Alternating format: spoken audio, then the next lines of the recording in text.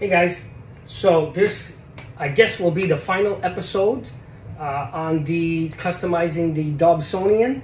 Um, and I decided what I want to do. For those few people that commented on what uh, you gave me suggestions, what you thought I should do, I heard you guys, I listened, but I think for me personally, I decided on a way and I'm going to choose that one and not continue this guy. Reason is, okay, this guy, again, is already set 100%. I don't have to cut it. I don't have to fabricate this or get somebody to fabricate this part and that part. The poles, it's all done. It all works. It's the same height. Um, the only thing that I will not be using is this amazing base. It's just too big. It's too high, six and a half inches from the very bottom. I need it down to two inches. So, and I don't want to wreck this base by cutting all the round parts out, the feet and all that. So I'm going to customize my own base. Maybe I'll show you guys that when I customize that base. So I'm going to be, since this one is exactly, works perfectly, there's only one thing it needs to be done. It still needs to counterbalance. So as you can see, everything fits here. I put the handle back up here, back down there on the base. I don't know if you can see that. Um,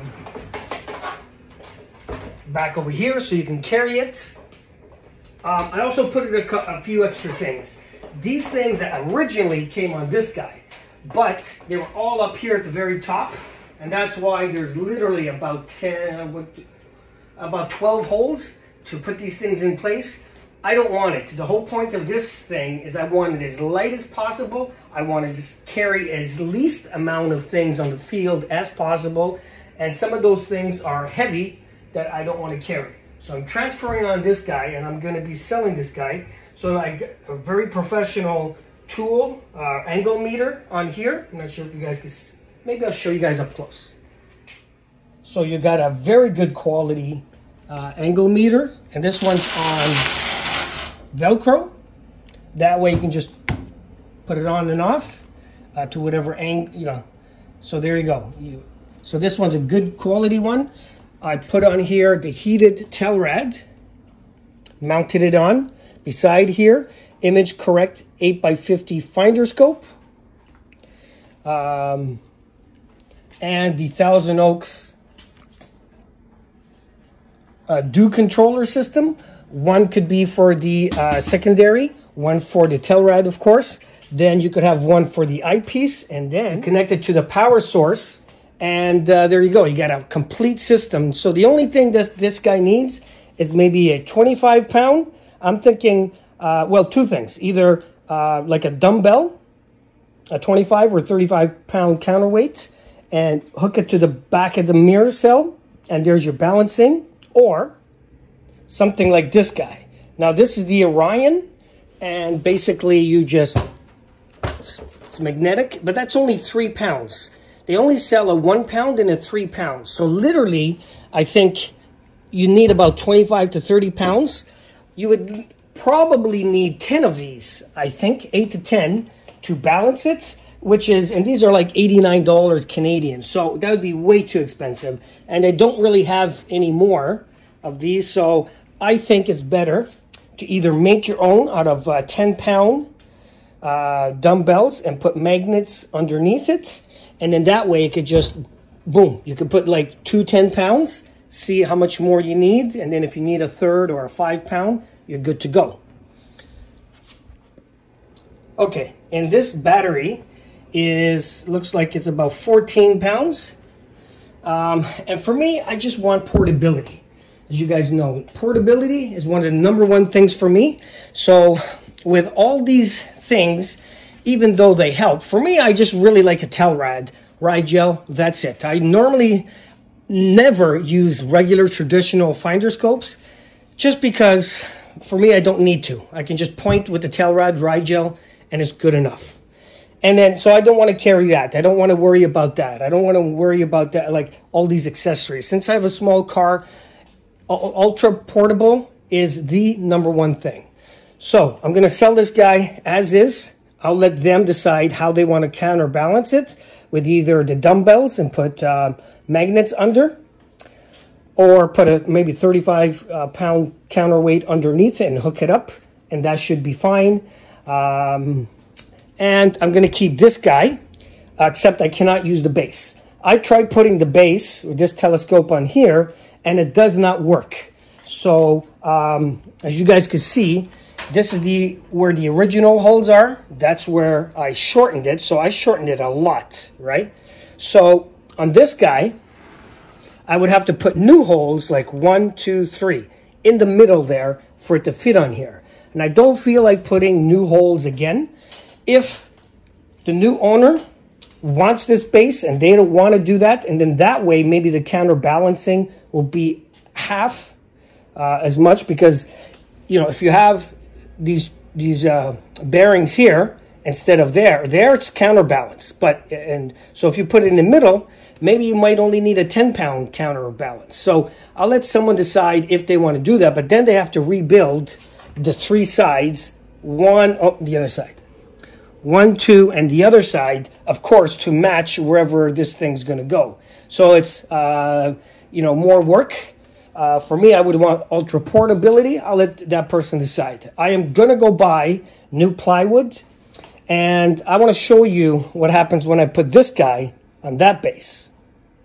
Or actually, maybe I'll show you guys both. Okay, so with these trellises, all the way at the bottom where I made it for that, it's still does not balanced. It wants to fall over, of course. Uh, but it does work, uh, type of thing. So, but when I put it back in its an original position up here, this hits over here. So obviously if it, if it is to work on this guy, it has to go in the middle. I would say probably somewhere there. Um, the round part like that. Then, it, as long as you put it where it misses this, it could almost counterbalance, I would say maybe by 10 pounds. So it does kind of work. At the lower position, no, it's still too top heavy. It is kind of tall. Let me show you how tall it is. So me standing next to it like this, so now you can kind of get a sense how much taller it is. I'm just can barely on my tippy toes can get it, uh, can see at the zenith. Now again, mind you, if you were to put it in between the low and the high, make three new holes, it probably would be perfect height. You probably only have to counterbalance maybe 10 pounds, I would say. So it can work on this uh, type of thing. Now let me show you this guy.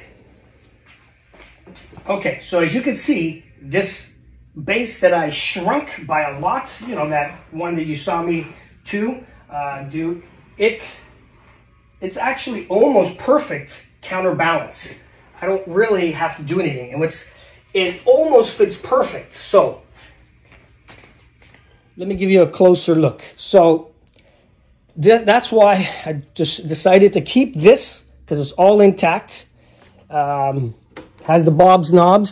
It is all felt lined or a flocked, we called it. Um, and if you look here, the only reason why it does not fit is because these trellises or these bearings comparing to those are a lot bigger. So it doesn't fit in the hole. So it needs about two and a, two inches there. And it would fit if I made this hole bigger or wider, it would fit. And it does go, it does work. Now I did have to take the three feet of it out for it to work. So which means I can do two things on this guy. I can just build this base two inches taller to here, a new base out of that plywood, and just build it two inches more. And of course, the hole will have to match this circumference instead of the original that circumference. So um, if I did that, then basically I have the height of the base that I want, the um, portability of the LightBridge, uh, and it all comes to counterbalance. So that's what I have to do.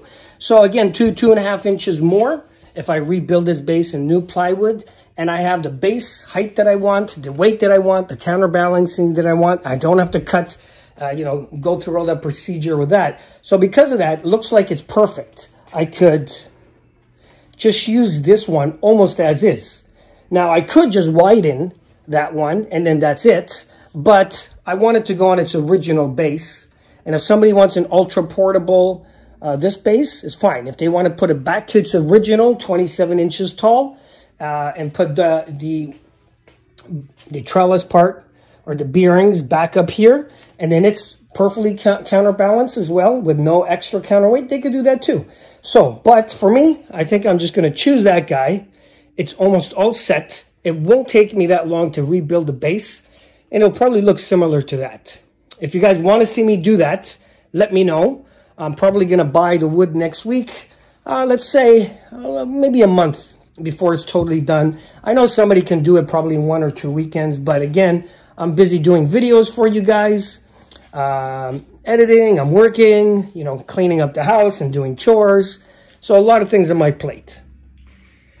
Anyway, guys, I know it's a change of plan, but life is always about changing plans. One road all the time. Uh, there's nothing wrong with changing your mind. As you guys saw, my uh, I changed my mind with the Star Sense. Part one, I didn't like it. Part two, I changed my mind. I like it. So the same thing here. I had a plan in mind, but that was because for almost two years, I couldn't find the 12 inch in this. I settled for the 10, but I just wanted the 12.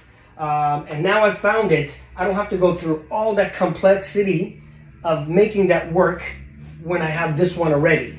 Uh, I do have to do a new base because I want it ultra portable.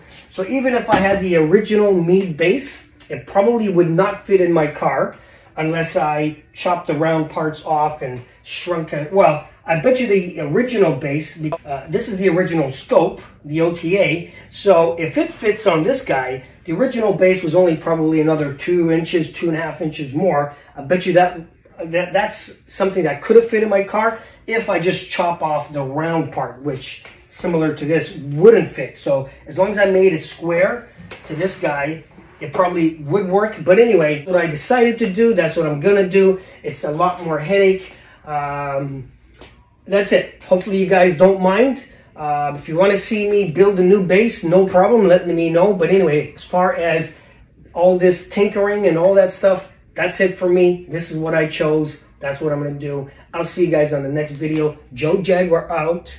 Like, comment, and subscribe. If you know anybody getting into astronomy, send them a link to my channel. If you guys are on the forums and somebody sent you something like the videos I have, share my link. I'll talk to you guys next time. Why not you? Why not me? Or why not you? Why not me? That's it. Yeah.